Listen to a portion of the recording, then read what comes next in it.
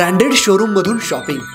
प्रशस्त आणि आलिशान फूड कोर्टच्या डिशेसच्या टेस्ट गेम झोनमध्ये फ्रेंड्स आणि फॅमिली सोबतची मस्ती.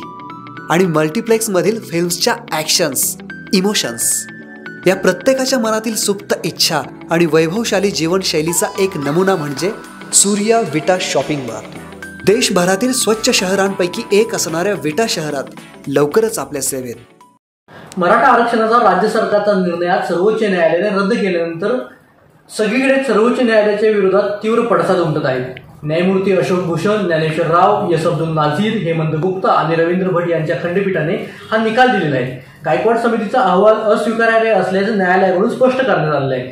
दरम्यान मराठा मोर्चासाठी महाराष्ट्रातून अठ्ठावन्न मोर्चे निघाले होते व या आरक्षणासाठी छप्पन्न जणांनी आपलं बलिदान दिलेलं आहे. त्याच पार्श्वभूमीवर आपण आज तासगावमधील मराठा समाजाचे समन्वयक आहेत त्यांच्याशी बातचीत करणार आहोत व त्यांना या निकालाबाबत काय वाटतं ते जाणून घेणार आहोत.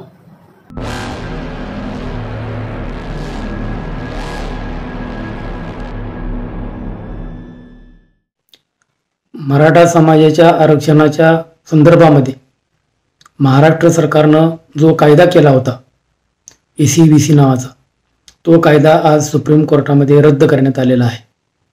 मराठा समाजाच्या दृष्टीनं आमच्या दृष्टीनं हा निकाल जो आहे तो निकाल अत्यंत खेदजनक अत्यंत निराशाजनक असा निकाल आहे.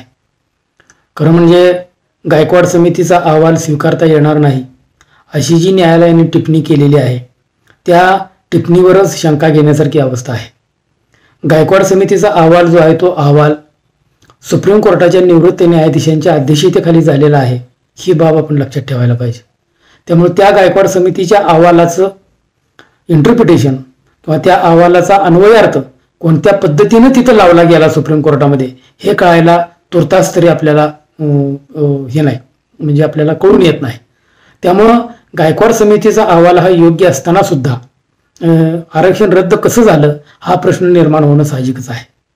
या देशामध्ये तीनशे चौऱ्याऐंशी जातींना जे आरक्षण दिलं गेलं त्यातल्या दोनशे जाती अशा आहेत की त्यांनी आयोग सुद्धा नेमलेला नव्हता.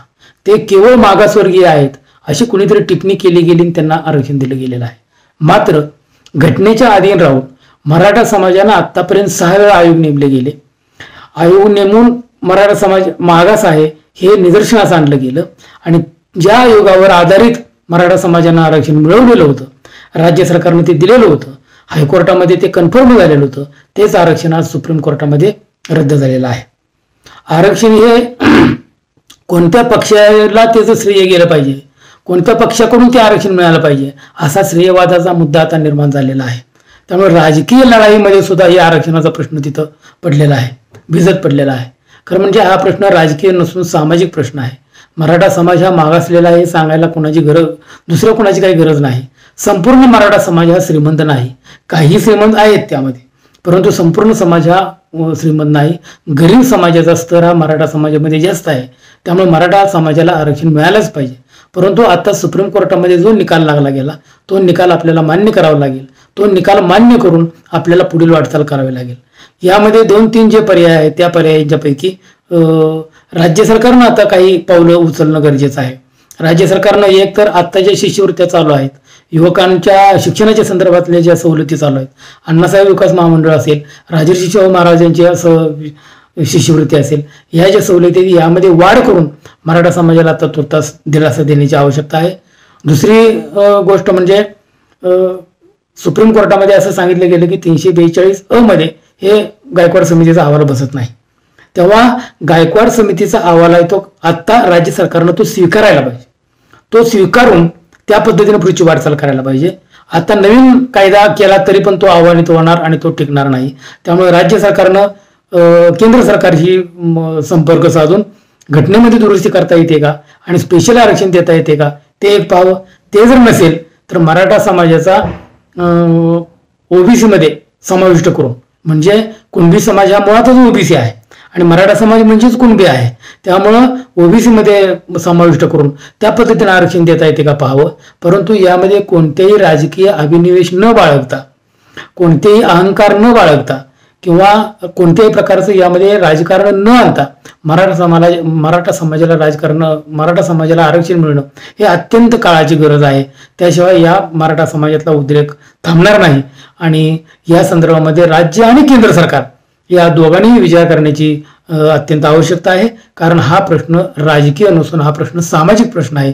त्यामुळे यामध्ये राजकारण न आणता मराठा समाजाला आरक्षण हे निर्विवादपणे इथून पुढच्या काळा या येणाऱ्या काही पाच सहा महिन्यामध्ये आरक्षण द्यावं अशी माझी विनंती आहे. मराठा समाजामध्ये आत्ता जो उद्रेक सुरू आहे जो आक्रोश सुरू आहे तो आक्रोश केंद्र सरकारने राज्य सरकारनं समजून घ्यावा अशीही मी विनंती करतो आणि थांबतो. जय जिजाऊ जय शिवराय. आज कोर्टाने मराठा आरक्षण रद्द केलं. राज्य सरकार आणि केंद्र सरकार याला सर्वस्वी जबाबदार आहे. कारण की मराठा आरक्षणाच्या व्यतिरिक्त राज्य सरकारनं पण आणि केंद्र सरकारनं पण इतर ज्या सुविधा द्यायला पाहिजे होत्या ज्या अण्णासाहेब महामंडळाच्या बाबतीत असतील किंवा मराठा समाज आर्थिकदृष्ट्या सक्षम व्हावा ह्यासाठी असतील किंवा इतर जे हॉस्टेल असतील शिक्षणाच्या बाबतीत असतील तर कोणत्याही प्रकारे जो मराठा समाजाला त्यांनी द्यायला पाहिजे होतं ते काही दिलेलं नाही असं दिसतंय. आणि आरक्षणाच्या बाबतीत ही मोठ्या प्रमाणात दिशाभूल केली जात्या.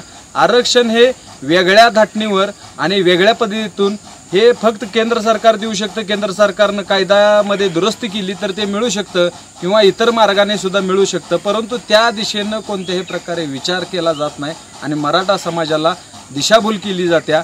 मराठा समाजाचा फक्त मतदानासाठी उपयोग केला जातोय. मराठा समाजाचा फक्त इतर कामासाठी उपयोग केला जातोय. मराठा समाजाचा जर इतिहास बघितला भारत स्वतंत्र होण्यापासून ते आत्तापर्यंत तर देशाच्या अनेक विषयामध्ये घटनेमध्ये मराठा समाजानं सेवा दिलेली आहे. पण त्याचा मोबदला किंवा त्या सेवेबद्दल या मराठा समाजाच्या पाठीवर कुठंतरी थाप पडावी.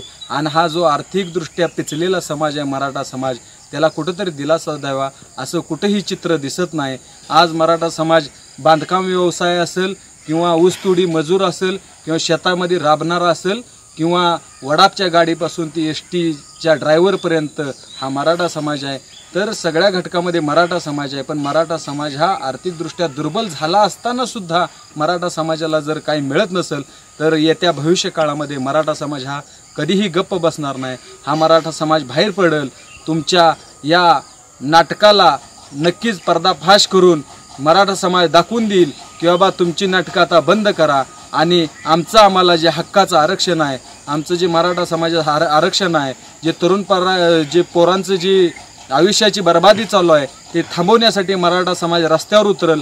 असं भविष्य काळामध्ये घडल. त्याच्यामुळं राज्यकर्त्यांनी सुद्धा शहाणं होत.